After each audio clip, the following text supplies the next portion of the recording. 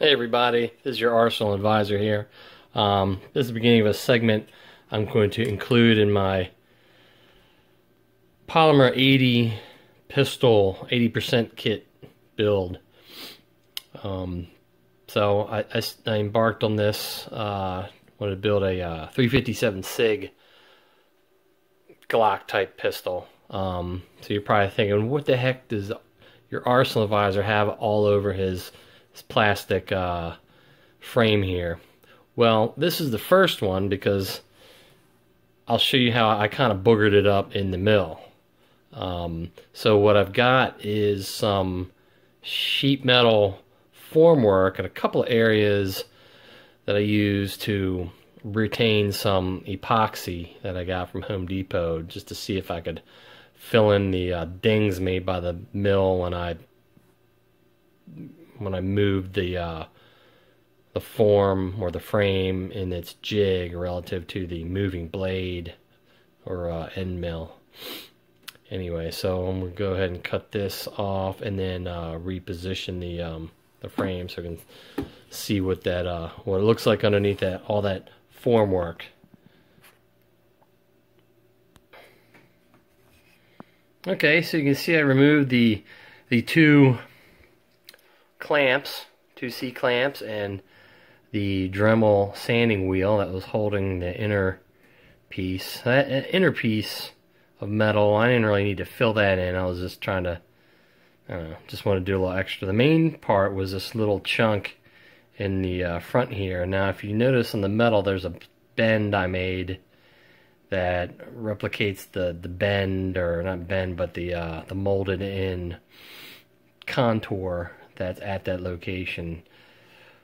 Uh, what I did was I tried to move the frame in its jig laterally relative to the end mill instead of just moving it laterally and then plunging down. So anyway, the mill bounced around a little bit and took a little chunk out of the top of uh, what would be under the slide, top of the frame there. Um, that was like on plunge one or two.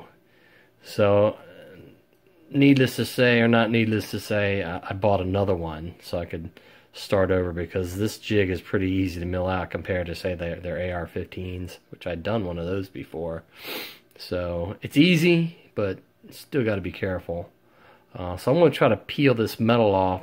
I was thinking maybe the metal uh, was a little slick, and I'm hoping it doesn't pull the pull the epoxy out. So we'll see how that goes here in a couple seconds.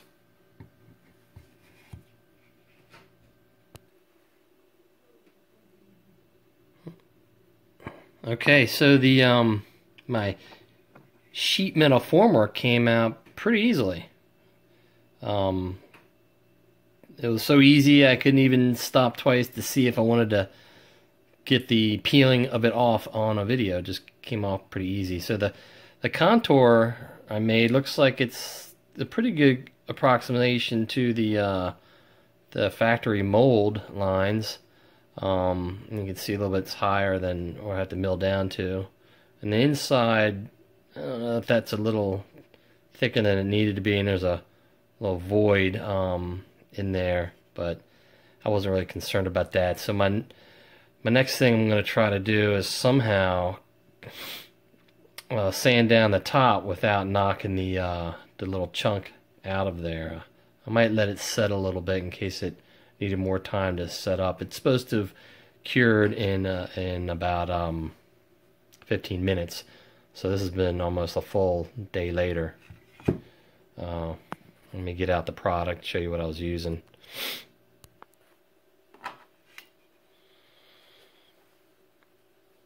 Okay, so I use this JB Weld plastic bonder.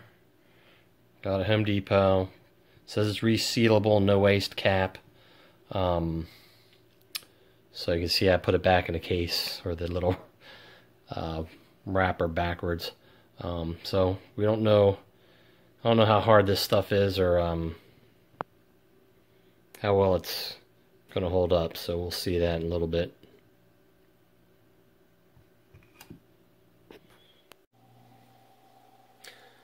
Okay, so here's the two frames side by side. When I dinged up the one on the right, I went looking for another one uh, that was on on sale.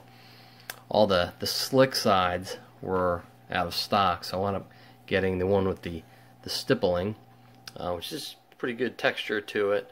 Um, same color. I think it's the it's the cobalt color that Polymer 80 has. Um, after doing some sanding, um, little area that got messed up, uh, shaped up pretty good with uh, the Dremel and some filing, a little bit of sanding. Uh, there's a bubble in this one area. Um, I put a little bit more material in, so I'm going to sand that down flat. It kind of looks like a little shiny bubble right there in the middle, just because I want to fill it in. So let me put that next to the other one. Now, when I started this project, my intent was to build a um, a 357 SIG compact Glock style pistol. Um, I found out uh, that 40 Smith & Wesson slides um, are not made by um, many of the, uh, I guess, manufacturers out there, especially not at the um, the price point I was looking at. I'd originally ordered a Lone Wolf slide with the PVD finish. Um, I misunderstood some of what they were explaining to me between the the 9 millimeter and the 40 Smith & Wesson and the 357 SIG, I guess, family of pistols. Um, so I wound up sending back my my Lone Wolf slide. I had gotten a 357 SIG barrel from Storm Lake. I sent that back and went ahead and just decided to finish the project as a, a G19. Um, I had went and got locally a a slide um, that was a, a blem a blemished slide. So it's a little economic much more economic than the uh, the, the lone wolf. Um, got a new barrel from the uh, the same dealer. Um, they put the sights on for me um, so that works together with the um, the new slide with the uh, the kit but what you're, you're looking at in the frame is a, a 0.40, 0.357 SIG frame finishing kit. So I ordered the replacement uh, extractor, or I should say ejector. Um, the ejector is for uh, a 40 357 size case. So I'm going to replace that. I'm going to take it all apart and uh, finish uh, changing the profile on the trigger guard. Um, I was practicing on, on, on this one. This is this is the profile that I like, more traditional, kind of like the like the Glocks are, just flat along the bottom, and a little you know point on on the front bottom. So when I, when I do that, then I'm going to um, I'll probably paint pick a color and paint paint the slide and the the frame to match. Uh, I'm not sure if I'm going to paint the the other parts like the like the pins or the uh, mag release. we'll see, but that that's that's up and coming plans. But but this frame was finished. Um, you know, the milling process was a lot a lot better. I will point out for the, the slide block in the front where the recoil spring goes you have to remove a little bit more material than the, the guidelines say that you can see on the actual frame. You have to remove a little bit more so that the recoil spring uh, will work freely inside there. Not a big deal. It's just you'll see once you see how much more materials inboard of the uh, the metal insert. So another thing I'll point out, uh, I guess these come with a little plate in here if you want to engrave a serial number on it.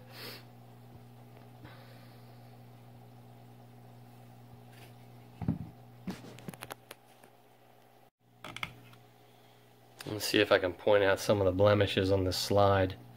Um, you can see what looks like dark pitting. Oh, it's showing up now. Uh, when I go get some Duracoat products, they have something called Durafil, which I guess is a coating you can fill in such imperfections, sand it down, and then you know paint over the top. Blemishes of this magnitude weren't really a big issue for me. Main thing I I was just wanted to enjoy putting this together. Um, I'm not trying to make a museum piece or anything, but uh, given an ability to fill in some perfections, I think I'm going to give it a shot, see how it turns out.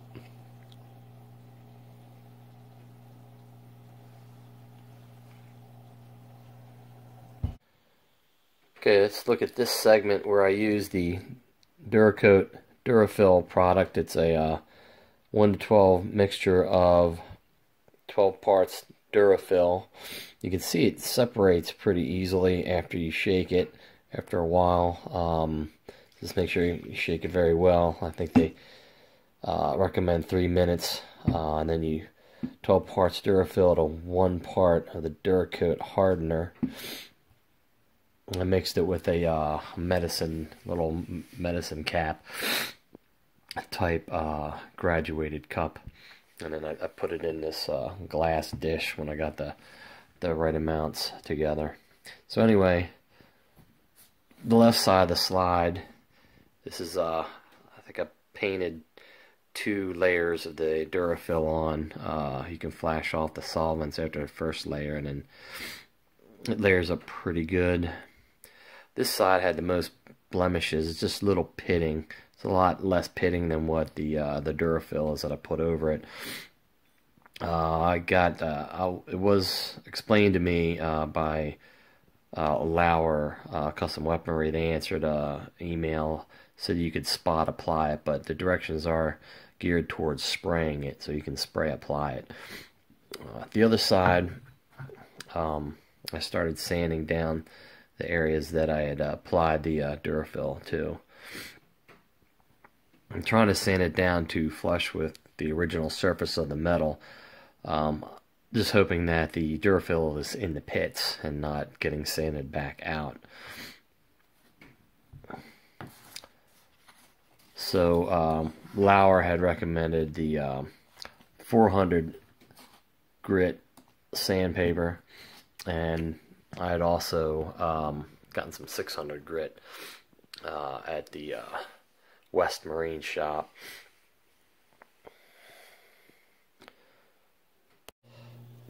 Okay, here's some intermediate shots of the each side of the slide. I switched to the 600 grade sandpaper, 600 grit rather.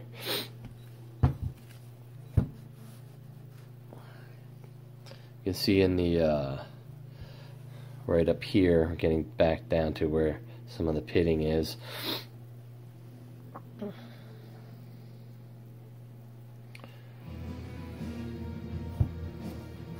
see down here there's some pitting near the uh, back of the slide. Still not quite uh, down to this uh, lower part of the slide yet. Okay, so here's a shot after um, I think I'm going to finish uh, the sanding now. I took the sandpaper off my blocks and just went over it, kind of holding it with my finger to soften it a little bit into some of the lower areas where I knew there was uh, more buildup of Durafil than needed, like right under the uh, extractor area. Um, I wasn't as concerned about this side, but you could see some of the what looks like pitting on the uh, serrations in the back of the slide there. Like I said, I wasn't so concerned about this side as much as the left side. I think I mentioned before. Um, you can see where the pitting was on the uh, front lower area and a little bit at the top of the slide in the front. Kind of moving back. I think the Durafil might have filled in some areas I didn't really see. But I guess well, I won't really tell until uh, until I get the actual Duracoat paint on on it and see how it, how it goes. Um, some of the areas that I polished down, uh, I guess with sandpaper is a little shinier than the, the other areas. Uh, you can see some striations from the scrub scrubbing pad that I used uh, when I was using the, the, the true the true strip uh, cleaner that Duracoat uh, sells you to um, get everything really clean to accept the products. I'll probably do more of that uh, before I go to the paint, the paint stage. So that's kind of that's kind of where I'm at with it right now. Okay, so last night I painted the the slide. That's the Duracoat Snow Gray. The finish is pretty uniform. It did leave a little bit of a orange peel that you can see. Tried to use a light coating. Again, I was using the Prevail sprayer system. Um, I missed a couple areas next to where the sights are. Uh, that's because I had the sights put on before I went ahead and to do all the painting. Um, I can probably mix a little batch up and just hand touch it up uh, or with a little brush or something. Um, the Durafil, I can't see really where the pits were between the orange peel and the Durafil. Um, this area here uh, by the front of the slide was and down by where the slide rails would go. Um, that's where a lot of the pitting was, and you can't really see any of it now. Um, so it's debatable whether I would want to apply a, a, more of a flat coat on top of this paint. This was the um, recommended three coats. Seems to have gone on thick enough. Um, so another thing to look at is going to be, uh, you can see the uh, back plate, and I also decided to paint a little bit of the uh, extractor. So that, um, just to try to go for a more of a um, uniform color on the slide. Oh, I was going to note that with Duracoat, I noticed in the instructions it says if you use a little more hardener, you get more of a glossy tone. If you use less, it becomes more flat. So I was going for less, but I was mixing the hardener into a cup, measuring cup that had residues of the paint. So I may not have, uh, I may have wound up with a little extra hardener. Uh, that might be why it's glossy, because like I, I've been advised before by um, Duracoat says if you use a light coat and then you know, flash off some of the solvents soon with a um, a heat gun, which I was doing, you should get a more of a flat appearance, but it stayed fairly glossy. Um, but it's alright looking. I'm fairly happy with it. Hello everybody. Uh, I'm going to add on the next segment. Yesterday I painted the the frame for my um, Polymer 80 pistol. Um, what you can see is the slide is the snow gray with its color chip and the the lower uh, the frame. It's got its uh, uh, color chip for the underbrush color from Duracoat.